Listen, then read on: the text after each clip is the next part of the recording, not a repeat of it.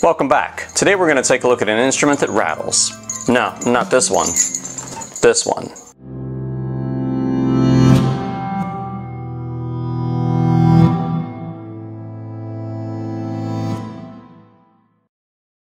Recently, a viewer of this channel wrote to ask if I could repair his 1960s era classical guitar.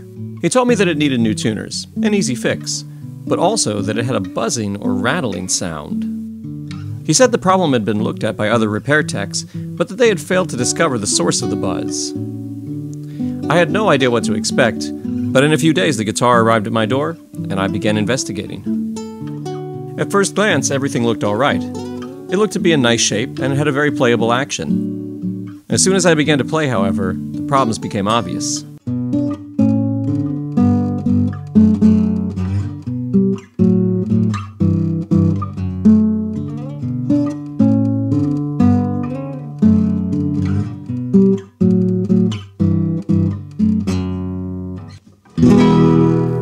There it is. That's not fret buzz, and that's not loose tuning machines. Something about this top is not only buzzing, but creaking too, almost like an old chair. I discovered that if you press on the top, it almost seems to groan.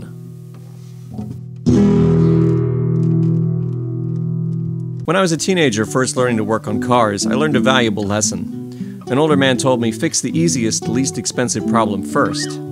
With that in mind, I felt the bridge would be the best place to start, and a loose bridge certainly could explain the buzzing, so I set about regluing it. Not wanting to spend a great deal of time repairing something that I wasn't sure was the source of the problem, I opted not to remove the entire bridge and only to glue the portion that was coming loose. I squeezed as much glue as I could get under the bridge and then clamped it down tight with my cam clamps. While the cam clamps are great, I like to also use these clothespins covered in tape as wedges. That helps get every last bit of pressure we can on the joint. I allowed the bridge to dry for a few days before restringing it.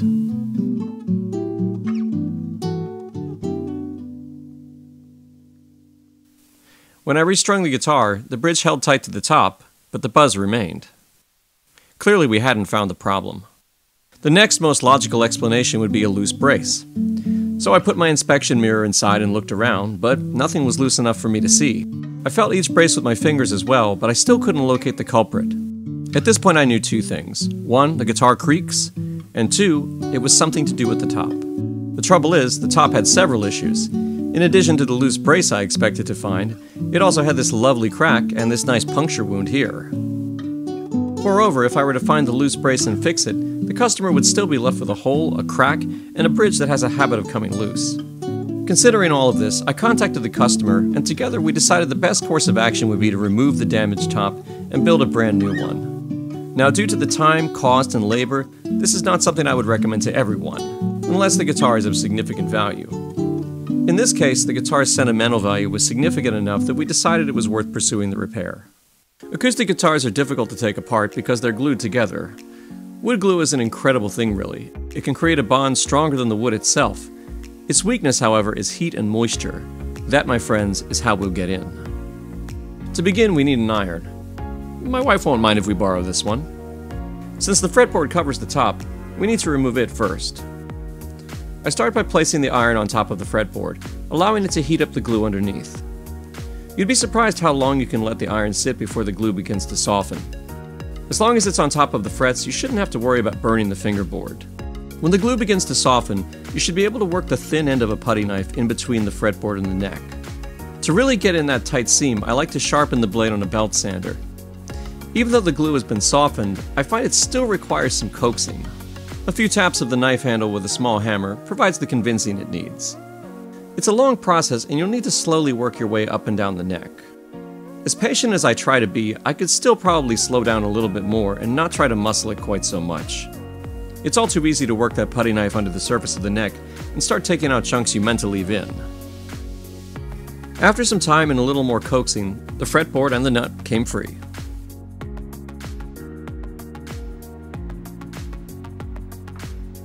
Before doing anything else, I clean up the small pieces of the neck that remained stuck to the fretboard when it came loose. As I said, the glue can be so strong that the wood breaks first.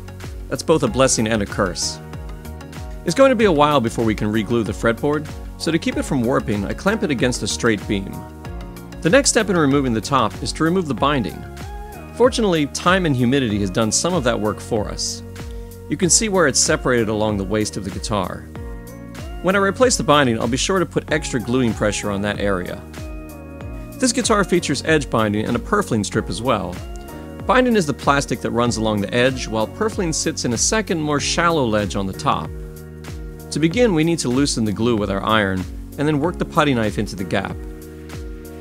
Despite having already come loose at the waist, it was actually much harder to get the binding and purfling free than I anticipated. Another way I could have done this, and perhaps will next time, would have been to use the router to cut through all the old binding.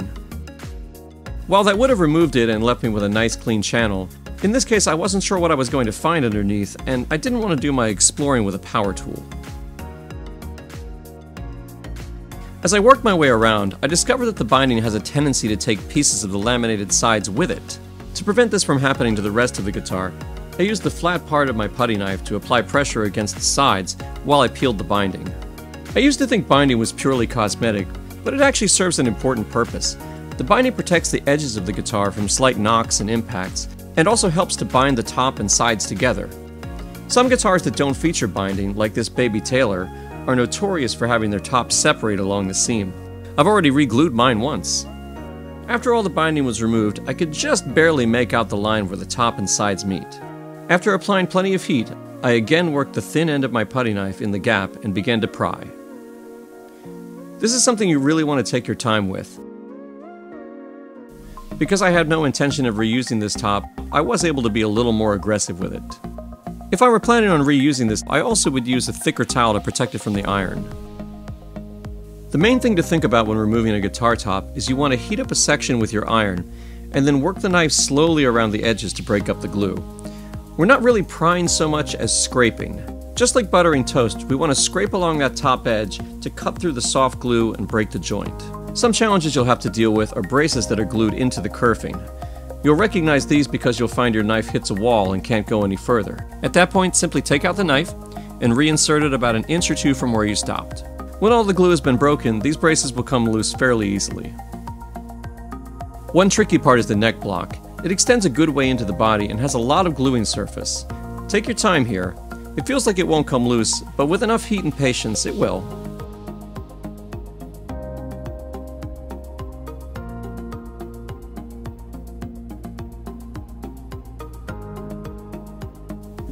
The last thing to do is gently coax the edges of those recessed braces free.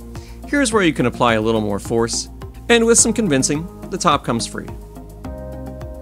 Inspecting the top reveals two things. One, it's a laminate construction. It looks like three thinner pieces were glued together. When we replace this, we'll use a solid cedar top, and the sound will be far richer and more resonant than it ever was before. The second thing of note is this brace here. With the top removed, it's very easy to see that it's come partially unglued. This was most likely the source of our buzzing and creaking. It may also have played a role in the top sinking, causing the bridge to come loose. The reason this was so hard to find is because it was directly behind a larger brace, both blocking our view and making it hard to reach with our hands. Nevertheless, the guitar will benefit greatly from the new top we're going to build. Stay tuned for the next video in this series, where I'll be building and installing the new top, and if you enjoyed this video, you'll probably also enjoy my video about repairing this 1958 Gibson, so be sure to check that one out as well. I'll see you guys in the next one. Take care.